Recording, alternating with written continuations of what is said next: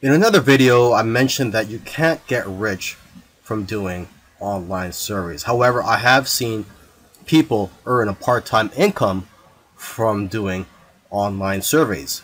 So if your goal is to earn a part-time income from online surveys, I highly recommend that you use multiple online survey sites so that you can multiply your income. For example, with Swagbucks and MyPoints, you could probably make around $90 per month.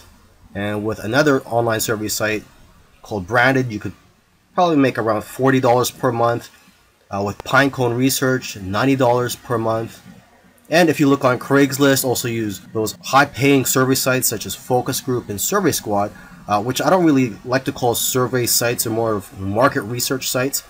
Um, if you use those, you could probably make a few hundred to over a thousand per month just from those. So the key here is to use multiple online survey sites and market research sites if you want to earn a part-time income from online surveys.